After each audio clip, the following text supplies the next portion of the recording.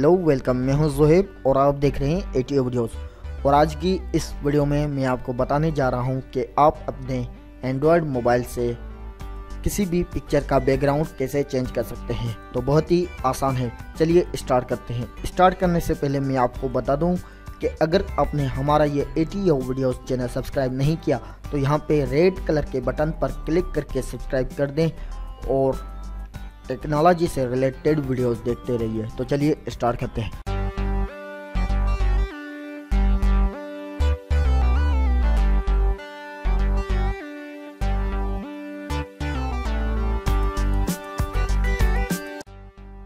तो यहाँ पे सिंपली मैं अपने मोबाइल को शो करता हूँ।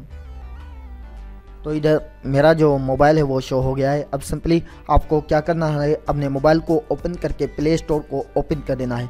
ओपन करने के बाद आपको एक एप्लीकेशन इंस्टॉल करनी है आपके मोबाइल में, आपको मोबाइल में।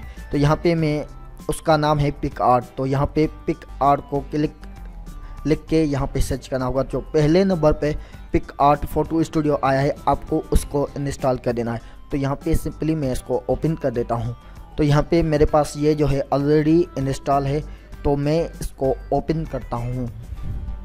जैसे ही मैंने इसको ओपन किया तो यहाँ पे ये आप देख सकते हैं पिक आर्ट का जो सॉफ्टवेयर है एप्लीकेशन है, वो ओपन हो गई है। तो यहाँ पे नीचे प्लस का निशान है तो यहाँ पे सिंपली मैं इसको क्लिक करता हूँ। क्लिक करने के बाद यहाँ पे कुछ आइकॉन्स आ गए हैं। यहाँ पे पहले नंबर पे है एडिट जैसे ही मैं एडिट पे क्लिक करूँगा तो डायरेक्ट गैलरी से कोई भी अपना फ़ोटो चूज़ करके लगा सकता हूँ। और यहाँ पे है कॉलेज मतलब कि मल्टीपल फ़ोटोज़ आप लगा सकते हैं। ड्रा पे अगर आप क्लिक करेंगे तो ड्रा से क्या होगा? आप जो है, कोई भी चीज़ ड्रा कर सकते हैं और लास्ट में है कैमरा अगर आप कैमरा पे क्लिक करेंगे तो डायरेक्ट कोई भी फ़ोटो खींच के मतलब कैप्चर करके आप डायरेक्ट उसको एडिट करके बना सकते हैं। तो यहाँ पे सिंपली मैं एडिट पे क्लिक करता हूँ।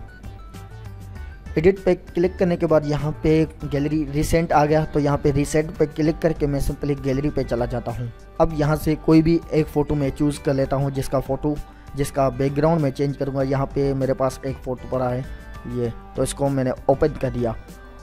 तो यहाँ पे थोड़ी देर में ये जो मेरा फ़ोटो है, वो ओपन हो जाएगा, ये आप देख सकते हैं। अब सिंपली आपको करना क्या है, इसका जो बैकग्राउंड है, वो पहले डिलीट करना है, काटना है। तो यहाँ पे लिखा है टूल्स आपको टूल्स पे क्लिक करना है।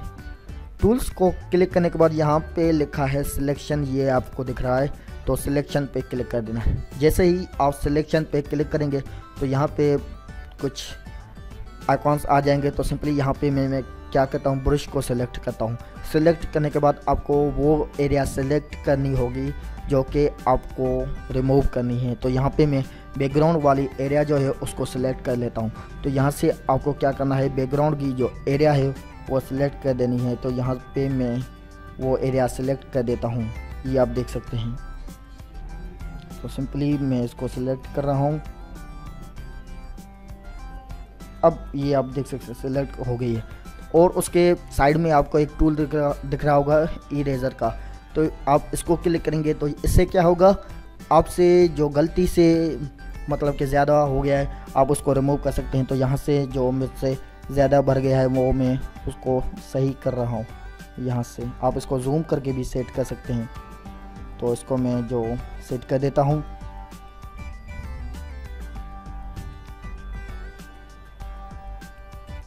मैं यहाँ पे जल्दी जल्दी कर रहा हूँ। आप अपने हिसाब से सही करके अच्छा एडिट करके बना सकते हैं।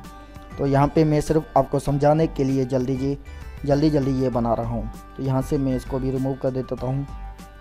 यहाँ पे ये आप देख सकते हैं। ये आ गया। तो यहाँ पे मैंने जो है वो उसको सेट कर दिया है। यहाँ पे ये थोड़ा रह गया है। तो यहाँ पे ये सेट होगा अब आपको क्या करना है, इसको जो है यहाँ पे ऊपर आपको कुछ ऑप्शंस दिख रहे होंगे। यहाँ पे है कट आपको कट पे मतलब के टैप कर देना है। तो यहाँ पे मैंने कट पे टैप कर दिया है। कट को क्लिक करने के बाद यहाँ पे ये आप देख सकते हैं थोड़ा मुझसे रह गया है तो इसको भी मैं क्लिक करके कट कर देता हूँ। तो यहाँ पे जो है बैकग्राउंड जो है वो रिमूव हो गया है। अब सिंपली आपको करना क्या है, यहाँ पे ऊपर टिक का निशान आपको दिख रहा होगा, वहाँ पे क्लिक करना है। टिक पे क्लिक करने के बाद आपका जो फ़ोटो है वो सेट हो गया। अब इसको दोबारा से इसी एरो को दबाना है। इसको दबाने के बाद यहाँ पे गैलरी लिखा है। जैसे ही आप गैलरी पे क्लिक करेंगे तो आपका जो फ़ोटो है वो गैलरी में सेव हो जाएगा। तो चलिए देखते हैं कि गैलरी में सेव हुआ है या नहीं। यहाँ पे मैं गैलरी पे चला आया और यहाँ पे पिक आर्ट ये आप देख सकते हैं।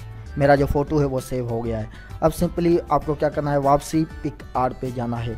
तो यहाँ पे मैं वापसी पिक आर्ट पे जा जाता हूँ। ये इस फ़ोटो को मैं या, अब यहाँ से डिलीट कर देता हूँ। अब यहाँ पे ये आप देख सकते हैं पिक आर्ट पे आपको वापसी इसी पिक आर्ट को ओपन करना है। अब यहाँ पे प्लस का निशान है मैं प्लस को निशान क्लिक कर देता हूँ, अब एडिट करके गैलरी पे चला जाता हूँ। अब आपको वही फ़ोटो चूज़ करना होगा, जो कि आपको बैकग्राउंड में लगाना है। तो यहाँ से मैं बैकग्राउंड इमेज चूज़ कर लेता हूँ। फॉर एग्ज़ाम्पल यहाँ से मैं कोई भी इमेज चूज़ कर लेता हूँ। फॉर एग्ज़ाम्पल आप कोई भी पिक्चर रख सकते हैं, या फिर वाइट बैकग्राउंड ब्लैक बैकग्राउंड जो भी आप चाहें वो आप रख सकते हैं। फॉर एग्ज़ाम्पल यहाँ पे मैं ये पिक्चर रखता हूँ। इसको मैंने ओपन कर दिया। ओपन करने के बाद आपको करना क्या है, यहाँ पे नीचे जैसे ही आप आएँगे तो यहाँ पे थोड़ा इसको आगे करेंगे। तो यहाँ पे लिखा है ऐड फ़ोटो जैसे ही आप ऐड फ़ोटो पे क्लिक करेंगे तो दोबारा से यहाँ पे आपका फ़ोटो वही आ जाएगा जो आपने पहले सेव किया था पहली बार।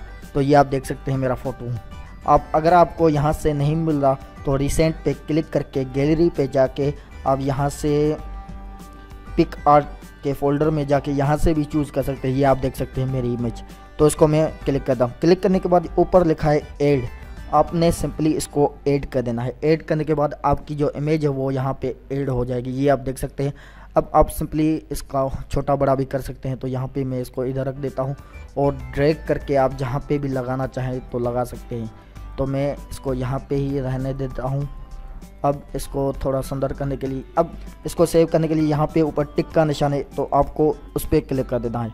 क्लिक करने के बाद यहाँ पे सिंपली मैं टूल्स में जाके इसको क्रॉप कर देता हूँ। तो यहाँ पे यह क्रॉप हो गया। तो ये आप देख सकते हैं। मेरा जो फ़ोटो है, वो उसका जो बैकग्राउंड है, वो चेंज हो गया है। अब मैं इसको सेव करता हूँ। तो सेव करने के लिए ऊपर टिक का निशान आपको दिख रहा होगा।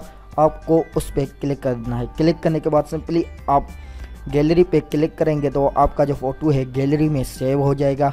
और उसके अलावा यहाँ पे आप सोशल मीडिया वगैरह, व्हाट्सएप, फेसबुक पे शेयर भी कर सकते हैं या फिर ईमेल के थ्रू किसी को सेंड भी कर सकते हैं मैसेंजर वगैरह में। तो यहाँ पे आप देख सकते हैं आपकी जो फ़ोटो है वो, उसका बैकग्राउंड चेंज हो गया है। अब सिंपली यहाँ से मैं गैलरी पे जाता हूँ और देखता हूँ कि वाकई उसका जो बैकग्राउंड वो चेंज हो गया है या नहीं। तो यहाँ पे गैलरी पे जाने के बाद पिक आर्ट के फोल्डर में ये आप देख सकते हैं। मेरा जो फ़ोटो है, उसका जो बैकग्राउंड है, वो चेंज हो गया है। अब इस फ़ोटो मसलन, अब सवेरे आपने जो ये फ़ोटो सेव किया था, अब इसका बैकग्राउंड जब भी आप चेंज करना चाहें मतलब कोई और बैकग्राउंड पे लगाना चाहें तो लगा सकते हैं। मतलब इस फ़ोटो को आप बार बार चूज़ कर सकते हैं, लगा सकते हैं, जहाँ चाहें। और उसके अलावा यहाँ पे आप देख सकते हैं, मेरी जो पिक्चर्स मैंने बनाई थी, ये आप देख सकते हैं। ये मैंने फ़ोटो ना फ़ोटोशॉप से नहीं बनाई ये मैंने पिक आर्ट से बना है। और कोई समझेगा कि ये इसने फ़ोटोशॉप में बना है, मगर नहीं, ये आप देखते हैं। ये भी मैंने पिक आर्ट पे बनाए हैं। तो आप इस पिक आर्ट को अभी इंस्टॉल करके उसको अनइंस्टॉल ना करें, क्योंकि मैं और भी अच्छे अच्छे ट्यूटोरियल्स बताने जा रहा हूँ इस पिक आर्ट के। तो खैर, फ़िलहाल मुझे दीजिए इजाज़त। अगर आपको मेरी ये वीडियो पसंद आई है तो सब्सक्राइब लाजमी करें। और लाइक करना ना भूलें। मिलते हैं अगली वीडियो पे। फ़िलहाल बाय बाय